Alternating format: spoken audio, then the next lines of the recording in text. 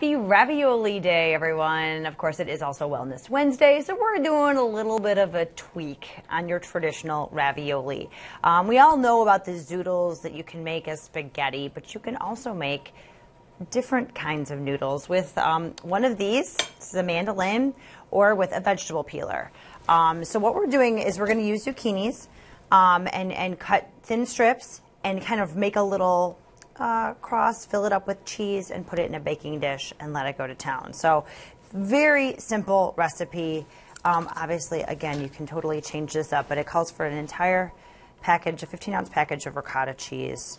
It also calls for basil, fresh basil. There was none at the store, so I'm improvising. I have a little bit of Italian parsley. I'm throwing that in. Um, it's rosemary, some fresh garlic, and then we'll do a little bit of the dried basil. And then um, nice heaping of Parmesan, Parmesan Reggiano. So we mix all of that up. And then we're going to set it to the side while we prepare our zoodles. So cut the top and the bottom off. And mine opens up. I've already set it. I'll move it this way. You put this in here. And you can, you kind of use that at the end. You just take it. Please be careful.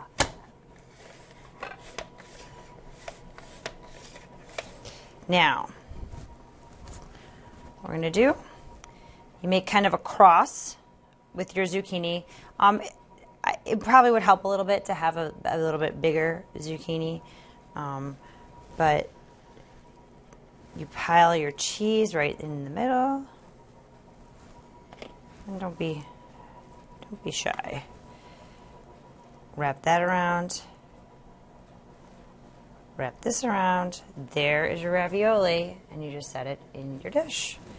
So, this is a little bit time consuming, but gosh, not terrible. And just think about all of the goodness. I mean, you can kind of enjoy ravioli without any of those carbs um, with extra added vegetables. Uh, you know, you can do this any way you want. You can put other things in the ricotta, you know, saute some onions and or spinach, other goodies, mushrooms. So these all turned out pretty well, I think. They're, they're kind of stained. Just make sure you put those loose ends on the bottom.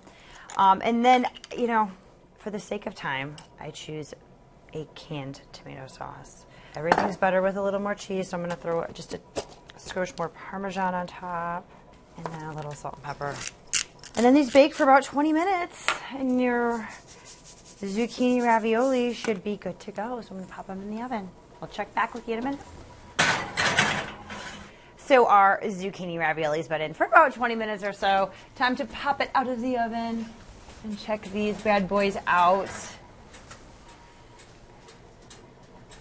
So it is a little juicy because that zucchini does have a little bit of extra juice in it, a little water.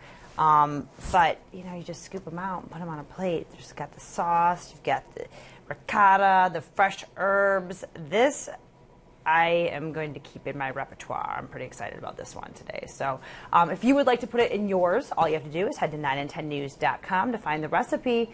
Bon appetit! Happy ravioli day!